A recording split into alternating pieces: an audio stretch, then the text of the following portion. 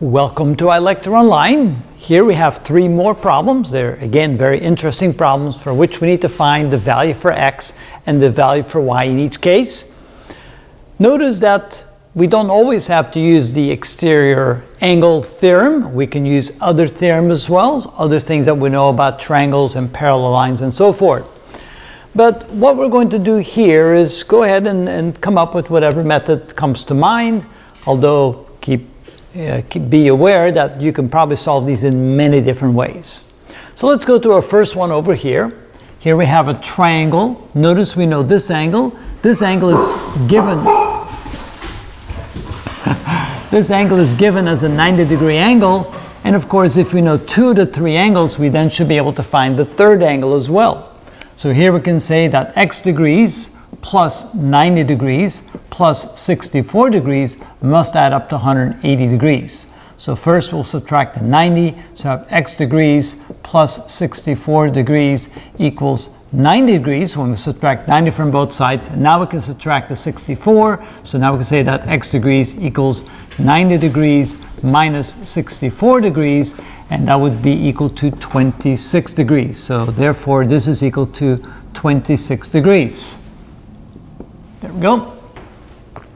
Well, now uh, let's see here. Do we know if this is a right angle or not? Hmm, we really don't know for sure. But what we do know is that these two lines are parallel to one another. These little arrows indicate that. And here we have a transversal, which means that alternate interior angles must be equal to each other. So if this one is 26 degrees, then this one must be 26 degrees as well. There we go. And now finally, we can again see that we have a triangle over here. We have three angles. This one is known, that's 90 degrees. This one is 26 degrees. So we can see that the sum of those three must add up to 180. So 90 degrees plus 26 degrees plus y degrees must equal to uh, 180 degrees. First, we subtract 90 from both sides. 26 degrees plus y degrees equals 90 degrees. Then we subtract 26 from both sides, we get y degrees equals 64 degrees. So therefore, this one is equal to 64 degrees. And so we have the two answers we were looking for. Just a quick check. Notice that 26 degrees plus 64 degrees does indeed add up to 90 degrees, so that was indeed a 90 degree angle. All right, our second example here. Hmm, what can we do here? Let's see here. Well, we have this triangle right here. We know this angle. We know this angle. That means we can find the third angle. So let's call that angle 1. So we can see that the measure of angle 1 plus 47 degrees plus 15 degrees must add up to 180 degrees. When we add these two together, we have the measure of angle 1 plus that's seven, uh, 57, that's 62 degrees equals 180 degrees, or we can see that the measure of angle 1 is equal to 180 minus 62, which is 118 degrees. So this here is equal to 118 degrees. All right, now I can see that angle x and 180 degrees those are what we call supplementary angles, and they must add up to 180 degrees. So at this point, we can say that x degrees plus 118 degrees must be equal to 180 degrees. Subtract 118 from both sides, we have x degrees is equal to 60. Uh, let's see, 180 minus the difference.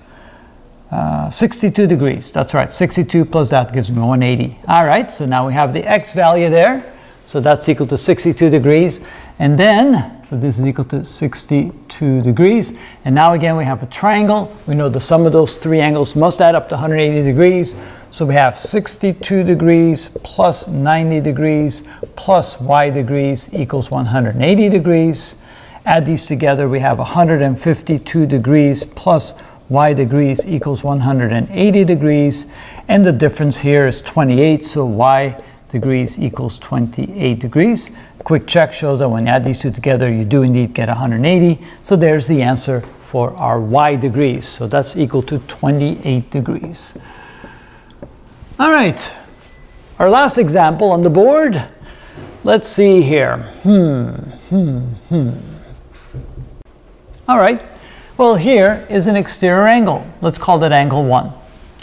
It's an exterior angle, which means that the measure of that angle must equal the measure of the two interior angles that are not adjacent to that angle. So we can say that the measure of angle 1 is equal to the sum of 35 degrees plus 90 degrees, because that's a right angle. So we know that the measure of angle 1 is equal to 125 degrees. So this here is 125 degrees.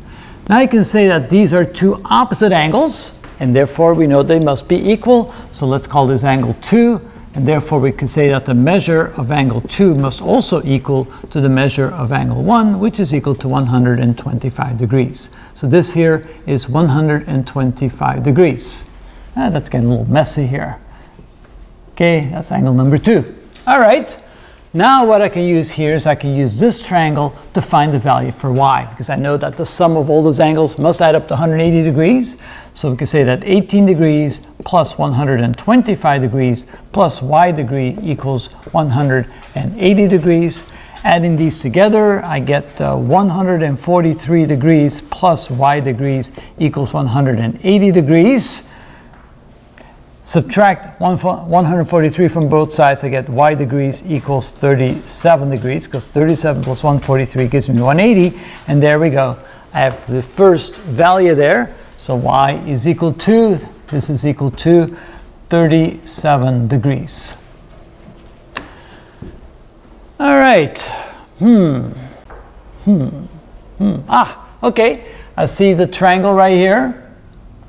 I know this angle, I know that this is 90 degrees, and there is x of this particular triangle. That means that those three must add up to 180 degrees. So I can say that 18 degrees plus 90 degrees plus x degrees equals 180 degrees.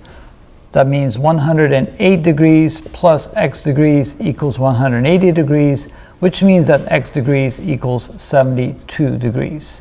So there's the final one, x equals 72 degrees. And now we found all the values for x and y in each of these sets of triangles. Again, you could do this probably 10 times over and find 10 different ways to solve these types of problems. As long as you stick to the rules, you should be able to get through these and find all the x and y values accordingly. And that is how it's done, at least one example of how it's done.